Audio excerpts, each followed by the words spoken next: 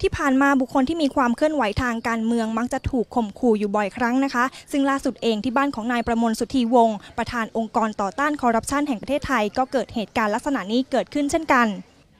ค่ะ อยากให้คุณประมวลช่วยเล่าเหตุการณ์ที่เกิดขึ้นเมื่อคืนนี้ค่ะครับก็เมื่อคืนประมาณสักตีสามครึ่งได้ฮะผมได้ยินเสียง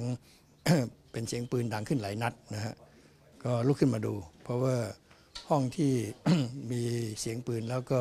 กระสุนเข้าไปเนี่ยเป็นห้องทำงานอยู่ชั้นสองติดติดๆกับห้องนอนซึ่งเป็นห้องนอนสำรองนะฮะแล้วก็มีในตอนนั้นก็ไม่ได้ดูละเอียด เพราะว่าไม่ได้เปิดไฟ เนื่องจากว่ากลัวว่าอาจจะมีการยิงซ้ำสองขึ้นมานะครับ เช้าแล้วถึงได้มาดูครับ ตอนเช้าที่เรามาดูเราพบว่ามีความเสียหายยังไงเกิดขึ้นบ้างอะคะคือความเสียหายเนี่ยก็เป็น ในรูปของลักษณะกระสุนที่ยิงเข้าไปผ่านกระจกแตก แล้วก็ไปโดนผนังห้องนะฮะเป็นเป็นเสียหายแบบเอ่อแบบลักษณะที่โดนกระสุนนะครับ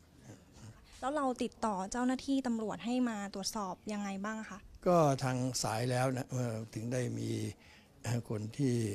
รู้เรื่องและรู้จักกันนี้แจ้งไปที่ทางทางพบตรนะฮะท่านก็ส่งทีมงานของท่านมาดูครับ ตอนนี้ก็มีหลายทีมงานที่เข้ามาแล้วครับ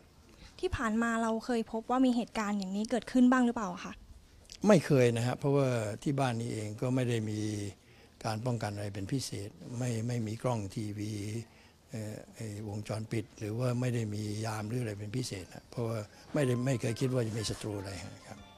เบื้องต้นคุณประมวลคิดว่าสาเหตุจากการเกิดเหตุการณ์แบบนี้นี่น่าจะมาจากอะไรอะคะ ถ้าจะให้ผมคิดก็คงเป็นเรื่องเดียว เพราะว่าเรื่องของการต่อต้านคอร์รัปชันที่ที่เราทำอยู่เนี่ยอาจจะไปทำให้เกิดความไม่พอใจในบางคนบางกลุ่มนะฮะอันนั้นน่าน่าจะเป็นสาเหตุหลัก แต่ว่าคงพูดยากว่าจะเป็นกลุ่มไหนอะไรยังไงครับ แล้วอย่างนี้เราจะชะลอความเคลื่อนไหวทางการเมืองหรือว่ายุติบทบาทลงไปเลยหรือเปล่าคะก็คงจะไม่เพราะว่าการทำงานของเราผมคิดว่าเราถือหลักว่าเราทำในสิ่งที่ถูกต้องนะฮะ แล้วเมื่อเป็นเช่นนี้เนี่ยการที่จะทำโดยความระมัดระวังเพิ่มขึ้น มีความจำเป็น แต่ว่าคงไม่หยุดยั้งครับแล้วเบื้องต้นเรามีการวางแผนความปลอดภัยเอาไว้จากนี้ยังไงบ้างอะคะยังไม่ได้กำหนดแน่นอนแต่จะต้องใช้เวลาศึกษานิดหนึ่งนะฮะคงต้องดูแลให้มีความปลอดภัยทั้งในบ้านแล้วก็ส่วนตัวด้วยครับยังไงบ้างก็ยังยังไม่ยังไม่ทราบว่าต้องขอปรึกษาผู้รู้ก่อนนะครับครับแล้ว ตอนนี้เรามีหลักฐานอะไรบ้างแล้วที่ทาทางเจ้าหน้าที่ตำรวจเขามาตรวจสอบแล้วพบค่ะ ทางเจ้าหน้าที่ตำรวจเขาก็เก็บเอกสารไปเก็บหลักฐานอะไรต่ออะไรไป แต่ว่าก็ยังไม่ได้พูดอะไรมากครับเขาคงขอเวลาไปไปดูเรื่องรายละเอียดซะก่อนแล้วถึงจะค่อยกลับมาคุยกันอีกทีครับครับ ตอนนี้คนในบ้านมีความหวาดกลัวหรือว่ามียังไงบ้างหรือเปล่าคะเกี่ยวกับความรู้สึกของคนในบ้าน ก็ก็คงเป็นธรรมดานะฮะคือมีเรื่องไม่ปกติเกิดขึ้น สำหรับคนที่อยู่ในบ้านก็คงมีความหวั่นเกรงว่าไม่อยากเห็นเหตุการณ์นี้เกิดขึ้นอีกครับ